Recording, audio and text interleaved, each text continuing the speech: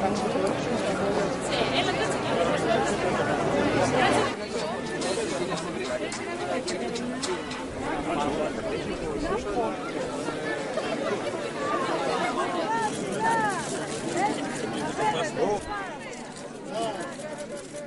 have uh, one way to ask gently to give us back the pieces of uh, our national monument.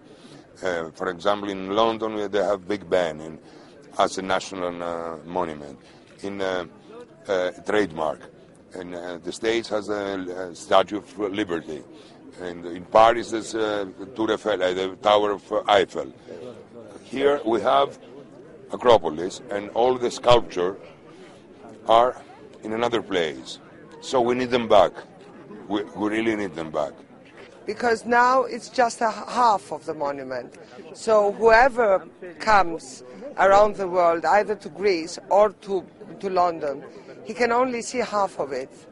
And it's really a pity. And we know that the British people are with us. We know that the vast majority of the British people believe that the marbles should be back in Greece. We are waiting for them. Τι θα το κάνεις στο μουσείο, την Ακρόπολη πρέπει. Είπανε, θα κατέβει χαμηλά.